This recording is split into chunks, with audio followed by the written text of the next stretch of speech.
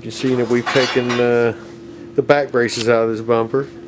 We've uh, put some pieces on each end of this bumper so you can see professionally done.